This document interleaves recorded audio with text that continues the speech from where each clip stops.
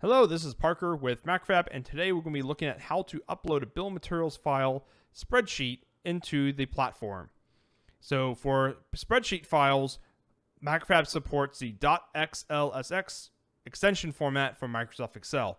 Now Google Drive also supports this, and so you can easily export from Google Drive into this format and upload your bill materials. So for bill material files, we support designator importing, values, packages, placement, and manufacturer part numbers.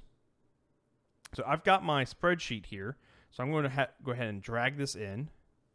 And it's going to identify the files.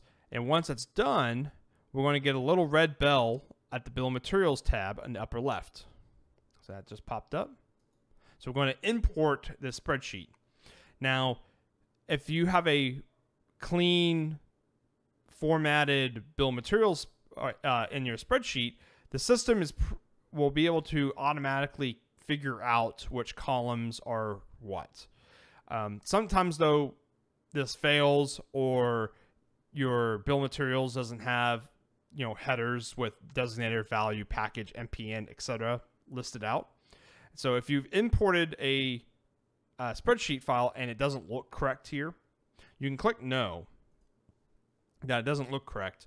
And you can actually go through and select which columns are the correct, um, it's the correct title for them uh, and subject, or you can actually get rid of lines. So like if you have uh, metadata or other information about your PCB or about the bill of materials that you may or may not need, you can actually cross those out here.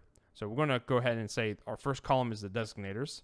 Our second column is our values. Our third column is packages.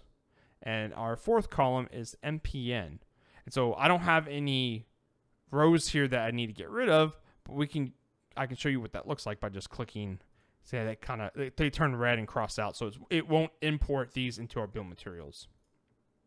So let's go ahead and review and import. So we're back to the first screen for the import files window and we can see that our import is going to look good. So we're going to click import. And we're back to the bill materials with a bill materials filled out. Um,